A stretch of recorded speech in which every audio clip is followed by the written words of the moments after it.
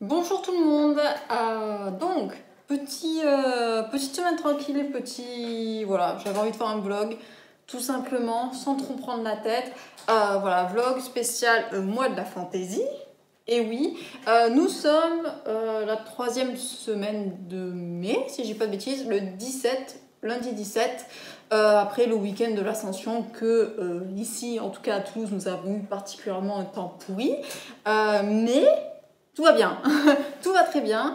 Euh, donc j'ai décidé de vous emmener avec moi, alors je sais pas encore combien de jours, aucune idée.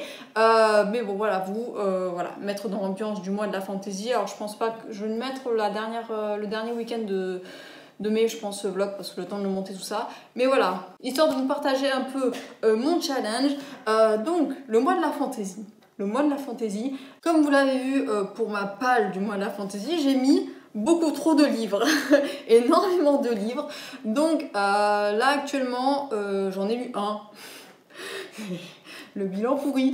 J'ai fini euh, les, voleurs de fumée de Sally Green, ma queen. Voilà, je vous en parlerai dans l'update lecture. J'ai commencé aussi, dans le cadre de la lecture commune, La guerre du pavot de je sais plus qui ou je sais plus quelle édition. Euh, alors là, actuellement, je suis au chapitre 14. Euh, en gros, il faut lire un chapitre par jour pour être à peu près dans, le bon rythme de lecture. Là, je l'ai lu euh, ce midi dans le métro. Et je suis actuellement en train de lire Les Salons Gentilhommes, le premier tome. je l'ai bientôt fini, je crois, je sais plus où j'en suis. Donc, ce bijou, en sachant que la guerre du pavot, je crois que je suis à 62-63%, je l'aurai fini à la fin du mois si tout va bien. Et euh, les salauds gentilshommes, j'en suis à la fin, il me manque euh, un peu plus de 100 pages. Euh, alors je sais pas si je vais le finir ce soir ou demain, mais je pense le finir avant la fin de la semaine. Voilà. J'ai mis un petit moment à, à, me mettre dedans parce que je sais pas si c'était la narration ou quoi qui me gênait. Mais maintenant, je suis à fond. Vraiment, je suis à fond. J'en peux plus. Euh, je kiffe euh, Locke. Ce perso, je l'adore. Donc, euh, vraiment très très hâte de voir comment ça se termine. Surtout que je sais pas du tout. Il y a eu. L'auteur a fait des choix qui m'ont surprise beaucoup. Donc.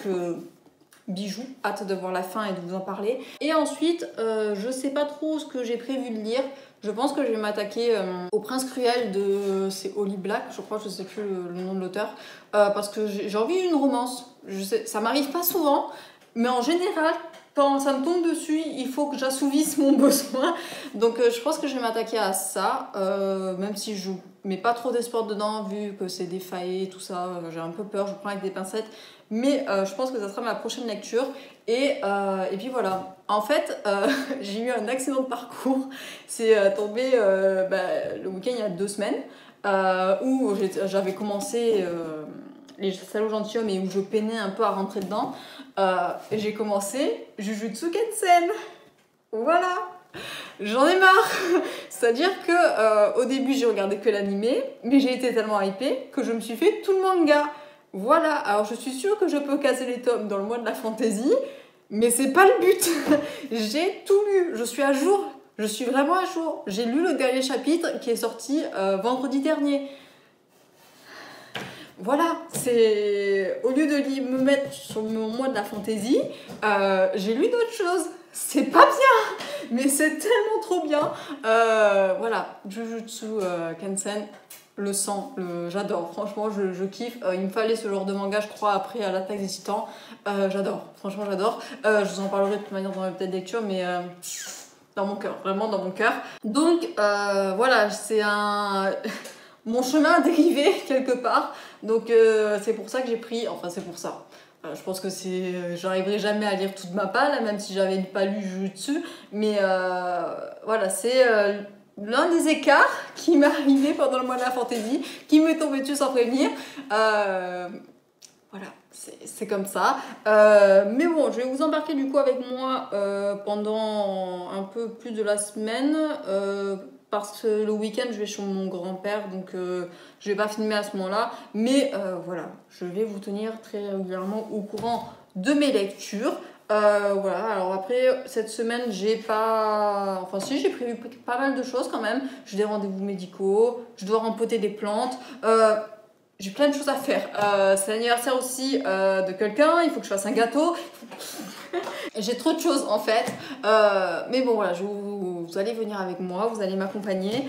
Euh, et puis voilà, euh, j'espère que pour ceux qui participent au mois de la fantaisie, tout se passe bien, que tout, tout va bien, que vous arrivez à lire tous vos livres, parce que moi, c'est mal barré. Mais bon, je vais vous partager mon désespoir. Et puis voilà, euh, peut-être que ça vous encouragera, voilà. Pour ceux qui sont aussi dans la merde, vous verrez que vous n'êtes pas tout seul. mais, mais voilà, je me régale en fait avec ce, ce challenge. Vraiment, je, je kiffe, je surkiffe. même si je sais d'avance que je vais pas tout lire. je pense que ouais, cette période-là, contrairement à l'année dernière qui était un peu fade à cause du confinement, tout ça, là, je, je sais pas, je me remets dans le bain, c'est cool. Vraiment, alors on est toujours en plein confinement, enfin confinement euh, couvre-feu, tout ci, tout ça. Mais euh, je sais pas. Je suis contente. Vraiment, c'est le mois de mai, euh, je sais pas. Alors qu'on a eu un temps pourri tout le long, je suis contente. je ne sais pas. donc voilà, il faut que je filme une vidéo aussi pour le week-end prochain. Enfin, vous l'aurez vu, vous, normalement, si tout va bien. mais ouais, j'ai quand même pas mal de choses à faire. Je vais vous montrer tout ça. Et puis voilà. Donc c'est parti. Voilà, et je vous tiendrai au courant de mes avancées. voilà, à toutes.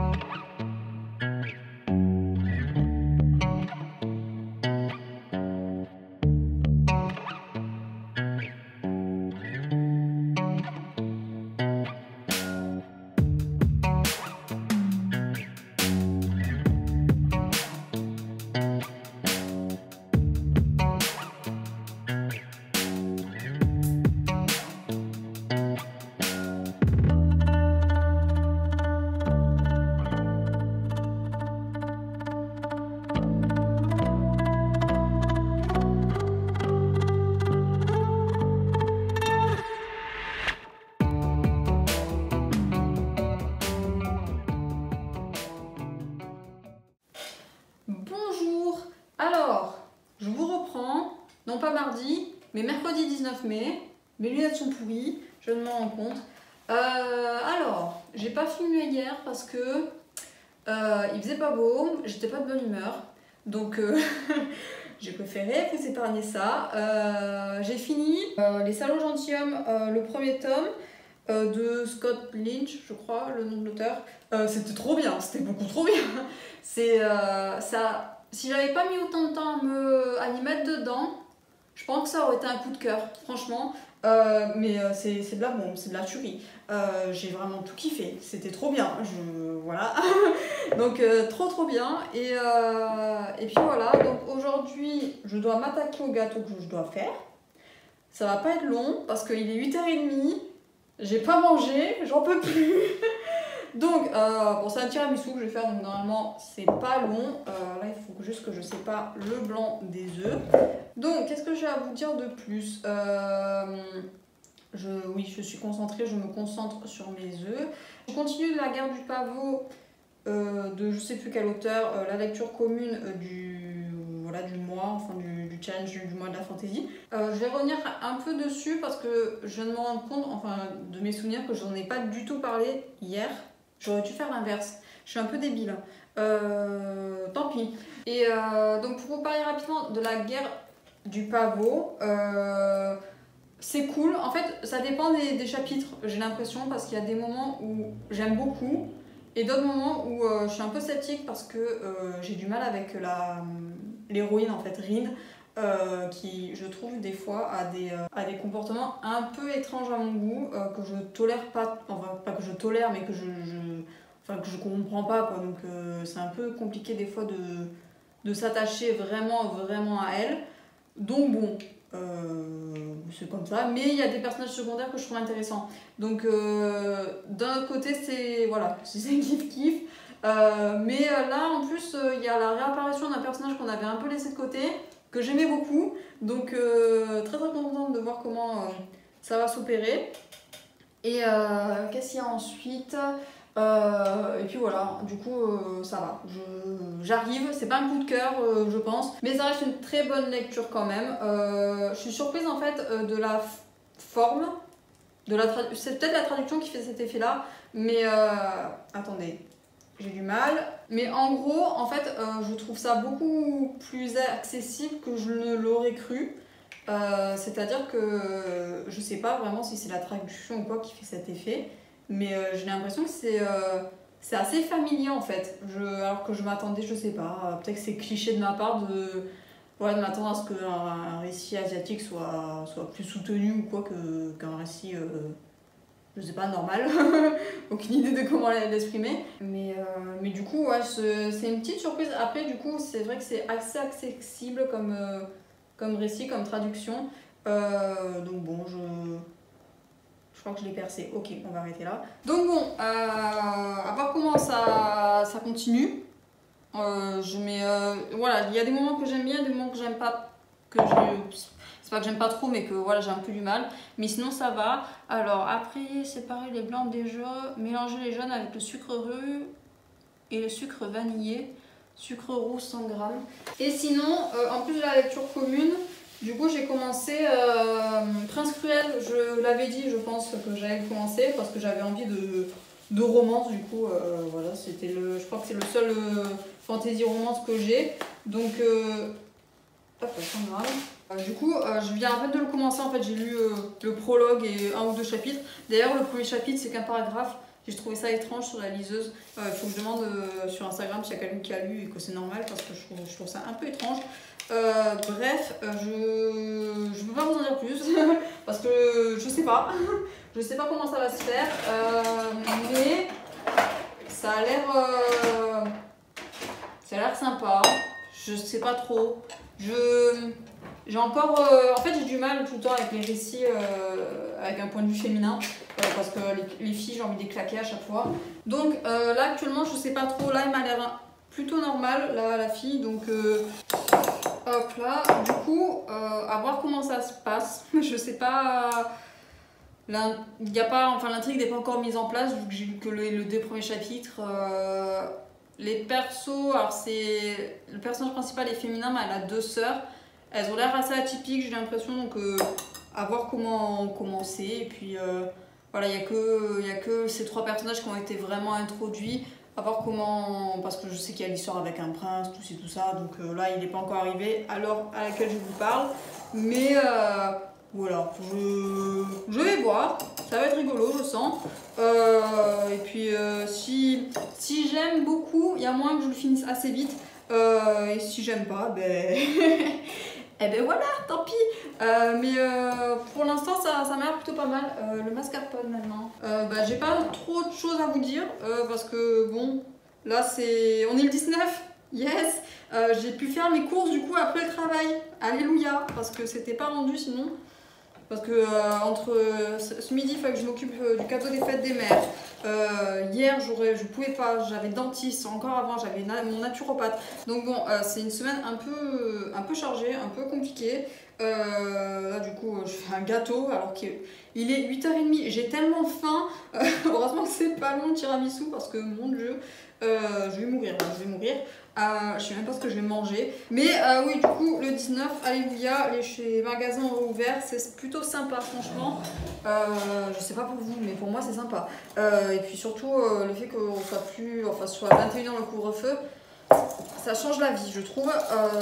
donc bon. on va voir comment ça se passe, comment ça se déroule avec toute cette histoire de Covid. Et puis voilà. Parce que ce week-end, euh, je vous l'ai dit, je crois, je ne filmerai pas parce que je serai euh, chez mon grand-père. Euh, mais bon, il n'empêche que je vais quand même beaucoup lire, je pense, vu que j'aurai que ça à faire littéralement. Et je vous retrouverai, je pense, du coup, le, le lundi.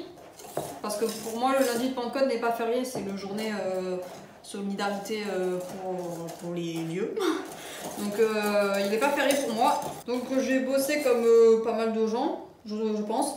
Euh, et je vous, je vous reprendrai à ce moment-là. Euh, non, je vous parlerai demain, je pense. Parce que demain, il faut que je tourne une vidéo aussi. ça va être n'importe quoi. Je sais même pas quand est-ce que je vais trouver le, temps de la monter. Mais bon, on va essayer. Et puis voilà. Euh, j'espère que tout va bien pour vous. Que vous profitez euh, de... Comment dire de, bah, de ces réouvertures, de ce petit moment de liberté. Après, euh, bon, il n'y a pas tout qui a réouvert. Euh, je sais que moi, le sport, par exemple, euh, ça fait plus d'un an que j'en ai pas fait, je commence à en avoir un peu marre. Mais bref, je, voilà, je, on fait avec ce qu'on a pour le moment. Ça réouvrira bientôt. Et puis voilà, j'espère juste qu'ils ne vont pas fermer pendant les vacances d'été parce qu'il y aura eu des nouveaux cas, tout ça. Parce que là, je vais m'énerver. Et puis du coup, voilà, euh, sur ce, je vais finir mon tiramisu. Euh, ça va plutôt ma mal. Je monte les blancs en neige maintenant, je crois. Et, euh, après, voilà, je vais, je vais voguer à mes occupations. Il faut que je me lave les cheveux ce soir. Ça va être... C'est une semaine. Je... Mais en fait, c'est le genre de semaine où on a. Euh, enfin, moi j'ai beaucoup de choses à faire, même au travail. Et en fait, le faire, le même si je me mets une pression de dingue pour tout faire, ben, le fait que j'y arrive euh, à, me, à me faire les objectifs que j'ai fait dans ma journée vraiment très important, je suis contente. Je me fais une pression de malade, mais je suis contente. Et, euh, et puis voilà, donc euh, je... vivement la semaine prochaine que ça se calme un peu. Mais euh, ouais. ouais, ouais, ouais, on va y arriver. Voilà, je vous laisse, je vous souhaite une bonne soirée, un bon appétit et, et un très bon mois d'achat de la fantaisie. Moi, le challenge est compliqué comme vous pouvez vous voir, mais on va y arriver, on va y arriver.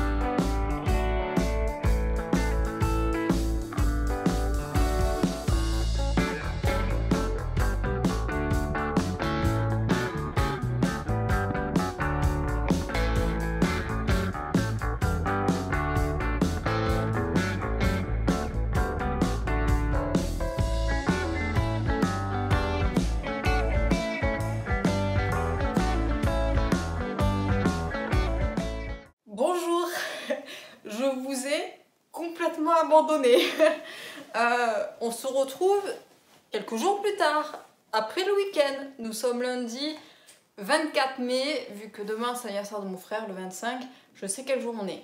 Euh, je vous ai complètement laissé de côté ce week-end. Euh, même ouais, le jeudi, je voulais vous reprendre, mais le temps que je fasse ma vidéo, qui normalement est sortie la semaine dernière. Pourquoi j'ai normalement? Je le sais, elle est sortie la semaine dernière, donc allez la voir si vous voulez. j'ai pas eu le temps de, voilà, de faire une conclusion, un peu tout ça. Donc je vais revenir sur mon week-end qui fut euh, assez productif euh, parce que du coup j'ai fini euh, le Prince Cruel de Holly Black. Je l'ai fini hier soir, je crois, oui, hier soir. Et je suis en train là de me chauffer pour finir la guerre du pavot parce que ça me saoule là de le traîner pendant tout le mois pour la lecture commune. Du coup, là, je, vais me motiver. Je, je, pense que je vais finir ce soir. Il me reste 2-3 chapitres, je crois. donc, Petite conclusion, je vous reprendrai un peu plus tard dans la semaine, mais bon, voilà, je vais vous faire le bilan. J'ai fini du coup le Prince Cruel qui était pas mal, mais en fait, je suis frustrée parce que vous n'allez pas en croire vos oreilles, mais il n'y avait pas assez de romance à mon goût. Parce que je l'ai mis dans la catégorie, je ne me souviens plus comment elle s'appelle, mais la catégorie euh, romance. Euh, voilà, où il devait y avoir dans le monde fantastique une romance. Et euh, donc en plus j'avais pris le Prince Cruel parce que je savais que c'était Enemy to Lovers et ça c'est un, truc que j'aime bien en général. Et là en fait la romance elle arrive qu'à la fin, à la fin du livre du coup je suis frustrée.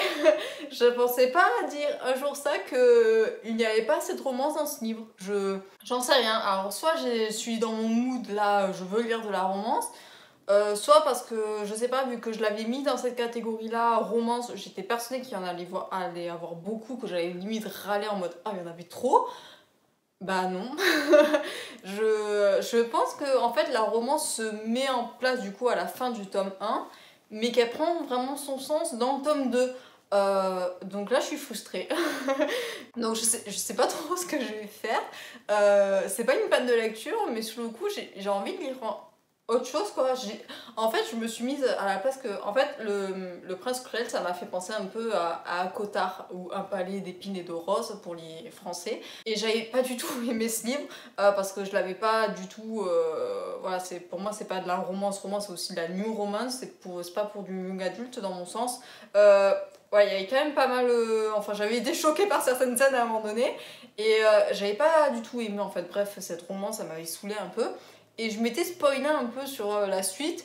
Et euh, je m'étais dit, oh, à tout moment, je la relis parce que je sais qu'il va se passer ça. Et ça, j'aime bien. J'ai limite envie. J'en ai marre. J'ai limite envie de lire le tome 2 d'Akotar là. Alors que ça m'a saoulé le premier tome. Du coup, j'ai pas envie. Mais d'un côté, je suis dans un game. Euh, et j'ai pas envie en fait de, de lire le, deuxième tome de, de Prince Cruel. qui se nomme le, le, Roi Maléfique, je crois, je sais plus.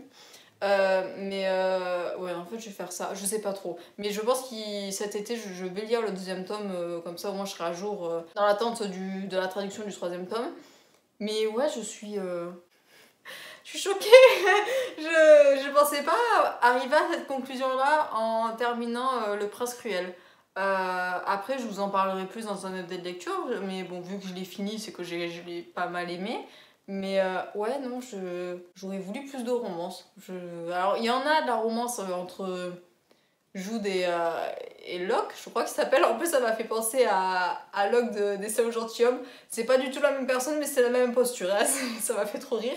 Euh, mais, euh, mais ouais, c'est pas avec. je sais pas comment ça se prononce. Car, moi, je disais Cardan dans ma tête, qui est voilà, le, le ennemi de Wolverse avec Jude. Et ça arrive vraiment tout à la fin. Et du coup, je suis un peu. ouais, je, je, suis sur ma fin. Donc.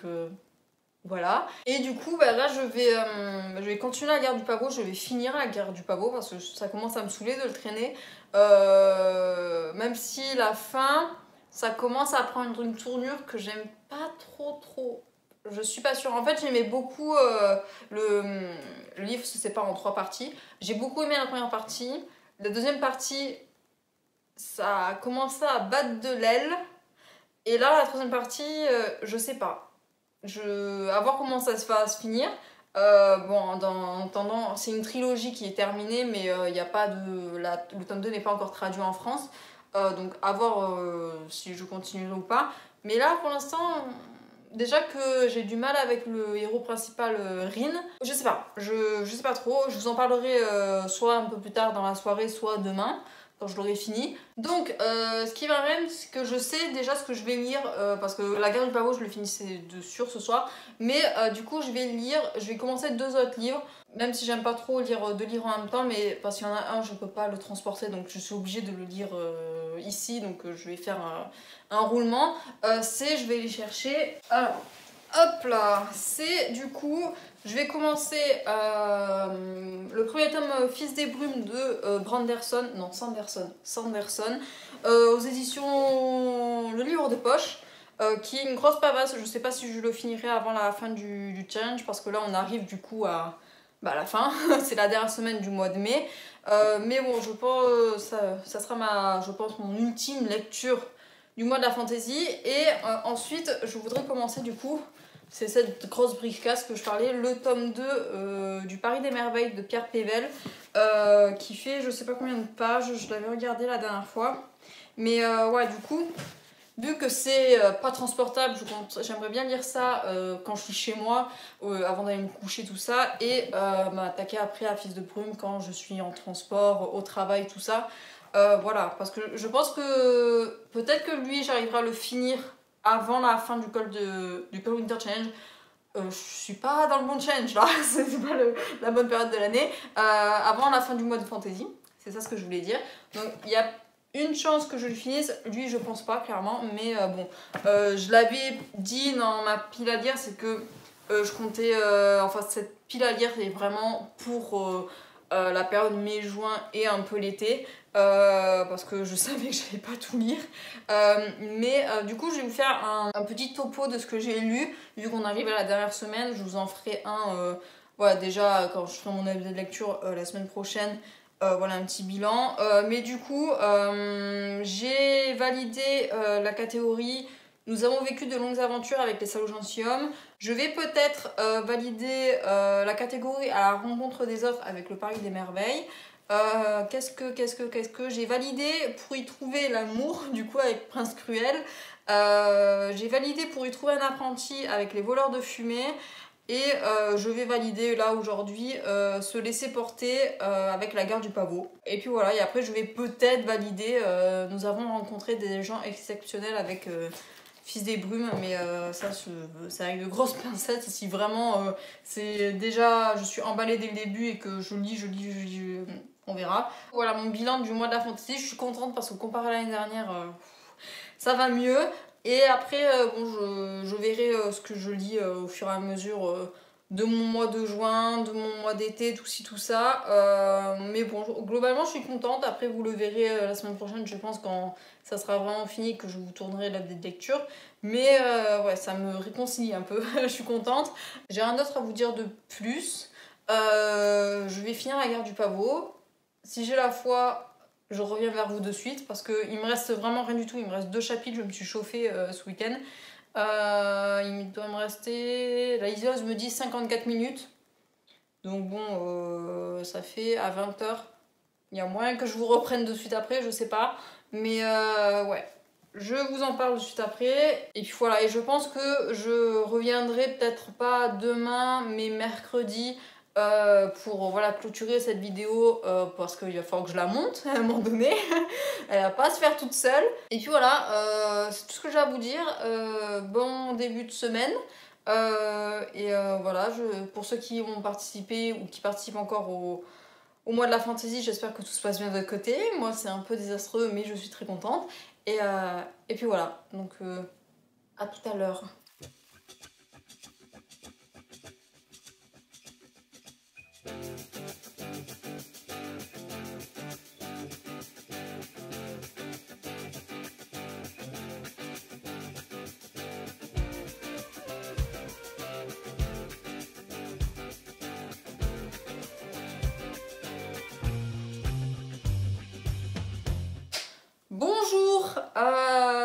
Plusieurs jours plus tard. Vraiment, j'ai eu la grosse flemme de vous reprendre. Euh, on est le 27 mai. Donc je fais euh, cette conclusion voilà, pour terminer cette vidéo. Euh, voilà, je viens de finir le montage, il manque juste ce rush là. Et d'ailleurs, le beau gosse, mon beau gosse, hein, voilà. regardez Jujutsu, regardez. Ah, allez-y s'il vous plaît. Donc euh, bref, parenthèse fermée. Euh, qu'est-ce que, qu'est-ce que... Ah oui, il faut que je vous parle de la gare du pavot. Alors déjà, euh, c'est vrai que sur le groupe Instagram, ça a été bien de le noter que je l'ai pas dit pendant tout le temps que je vous en parlais. trigger warning, beaucoup de trigger warning. déjà, de base, ça parle de drogue, donc c'est pas ouf. après, à partir d'un certain chapitre, la violence monte crescendo. Euh, vraiment, euh, c'est euh, voilà, on parle de génocide, on parle de voilà de violence psychologique, torture, de violence physique, de viol et c'est pas mal décrit. Hein, vraiment, il y a des fois où il faut avoir le cœur accroché. Donc c'est pas pour tout le monde, vraiment. si au début on peut croire que voilà, c'est gentil parce que ça parle juste de drogue, mais hein, non, pas du tout, non. Surtout qu'après à la fin, Rin ça, ça, ça pue à son avenir, vraiment. Donc, euh, qu'est-ce que j'en ai pensé au final? Je suis assez mitigée. Euh, je vous en parlerai plus en détail, mais c'est vrai que quand j'avais commencé ce livre, en fait, je voulais avoir. Euh, ça va être cliché ce que je vais dire très certainement, mais je voulais voyager, je voulais retrouver cette. cette atmosphère un peu voilà nippone bon là c'est chinois voilà, cette, atmosphère particulière que euh, je ressens quand je lis un manga ou quand je regarde un animé. Et euh, c'est peut-être pour ça aussi que je m'attendais à ce que ce soit plus soutenu le récit, je, je sais pas trop pourquoi. Euh, mais du coup, j'ai pas eu ça, vraiment. c'est très cantonné, voilà. On a la première partie qui répond un peu à mes attentes si. mais à partir de la deuxième partie où ben, on a tout ce qui est la guerre, voilà, c'est un gros carnage, ça, voilà, c'est ça qui est le gros sujet principal, donc on oublie un peu voilà, cette atmosphère-là, euh, cette, euh, cette découverte que fait Rin dans la première partie, euh, tout son apprentissage, tout ça.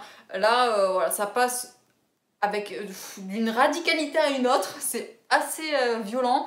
non, je le recommande pas pour tout le monde du coup. après, je sais pas, moi j'ai un gros gros souci vraiment avec le personnage principal, avec Rin, que voilà, je sais pas si c'est le fait qu'elle ait 17 ans, que voilà, je la trouve très très gamine ou qu'elle soit complètement paumée dans sa tête et que je supporte pas ça, euh, je sais pas, mais c'est vrai que j'ai énormément de mal avec ce personnage. Et euh, j'avais euh, du coup, je m'étais focalisée sur deux personnages secondaires qui sont Neza et Kitai, mais à partir de la deuxième partie, ils sont complètement mis de côté pour que de nouveaux personnages secondaires soient mis en place et je trouve ça assez lourd parce que on n'a pas le temps de s'attacher à un personnage qui en a un autre qui arrive qui le remplace un peu. J'ai trouvé ça un peu mal foutu. Euh, moi, j'aime pas quand il y a trop trop de persos. Et en plus, c'est les persos voilà, qui arrivent euh, dans la deuxième partie. C'est pas ceux que je préfère, vraiment, je, je c'est à peine si j'ai retenu leur nom. Euh, il y en a un que je sais plus du tout ce que c'est son pouvoir, enfin, voilà, c'est ça me passe un peu au-dessus, donc je suis un peu déçue à partir de, voilà, de la deuxième moitié du livre, je dirais. Mais euh, après, je me suis spoilée. j'ai lu les résumés des autres livres, tout ça. Et euh, enfin, ouais, je, me suis renseignée. Et euh, d'un côté, j'ai envie de savoir ce qui va se passer. De l'autre, je sais pas trop. Donc, c'est à voir, je sais pas. Je vais laisser mûrir cette idée-là et je vous en parlerai plus voilà, la, semaine prochaine dans mon de lecture. Mais euh, ouais, c'était un peu compliqué cette lecture. Euh, mais après, ouais, le fait que ce soit une lecture commune, du coup, c'est vrai que ça aide beaucoup. Euh, après, donc sans surprise, j'ai commencé du coup les deux livres. Bah, je vais parler de Pierre Pével que j'ai juste là. J'adore. Alors, comment vous dire que j'ai lu à peine, j'ai lu le prologue.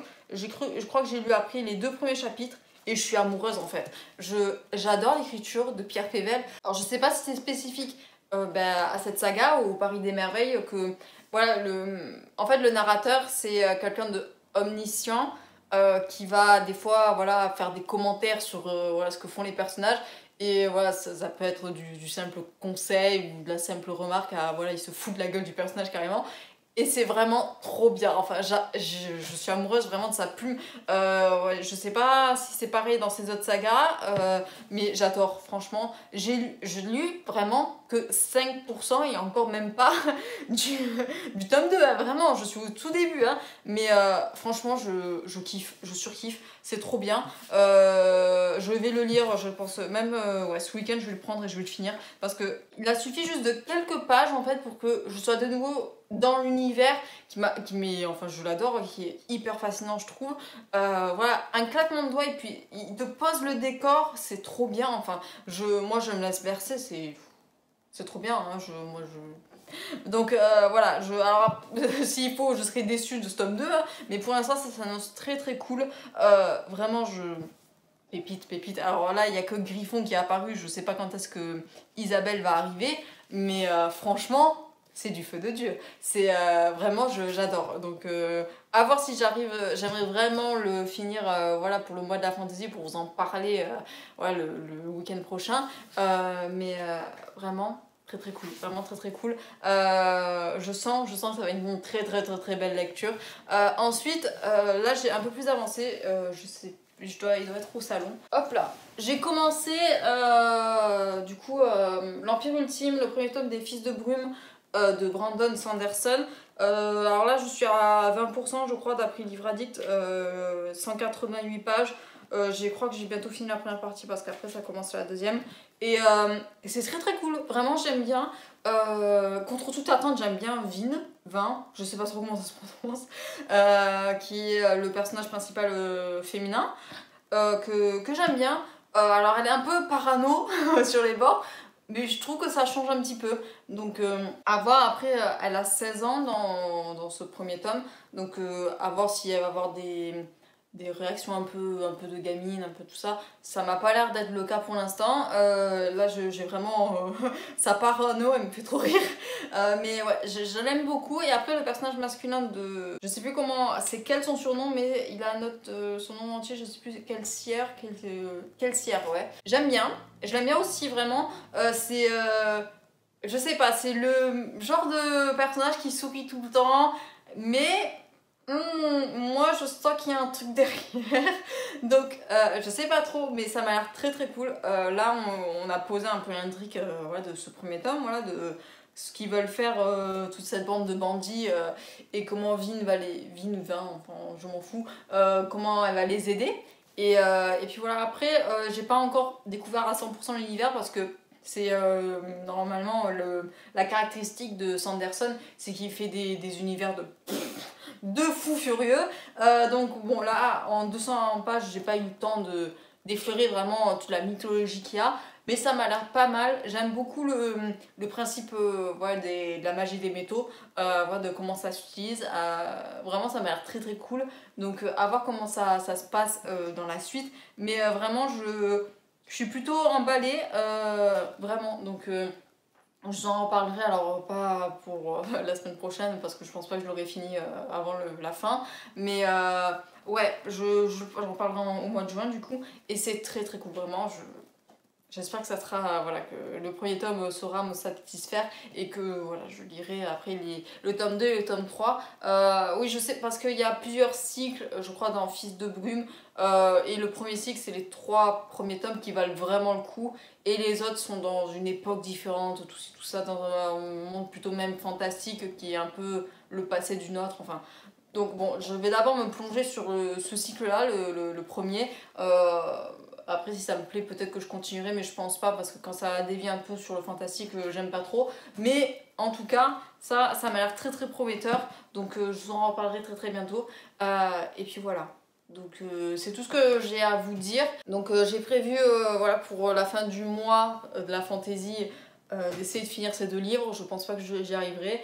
là je vais me remettre du coup au montage. Je vais arrêter cette vidéo et, et monter la suite pour pouvoir l'exporter et la mettre euh, sur YouTube.